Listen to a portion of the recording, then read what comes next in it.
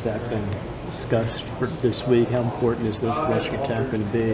This Uh, just like every game, you know, it's important to always get your uh, the run game going. But you know, we're preparing hard, and um, you know, hard work will pay off for us.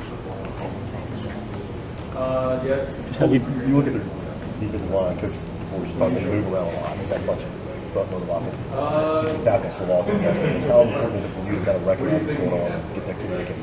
Right, and that goes, I mean, just through preparation um, throughout the week, watching film. But I mean, they're a great defensive line, like I said, and uh, you know, they're very active. So it's going to be a good challenge for us. So we're going to just just prepare this week, and then you know, hopefully it'll, it'll pay off for us. Do you So- kind of gamble a lot, you know, searching to get you a little confused and find a gap? I I wouldn't say gamble. You know, it's more just things that they scheme up. You know, with their with their personnel. But um, I mean, they, they they're very deep in the defensive line. So we're gonna do everything we can. You know, to, to do our jobs and hopefully you know, come away with the win. How do you think they compare to Flor- to Oklahoma's defensive line? Um, you know, both teams really had uh, great defensive line, so you know I think it's going to help us playing a good team like Oklahoma.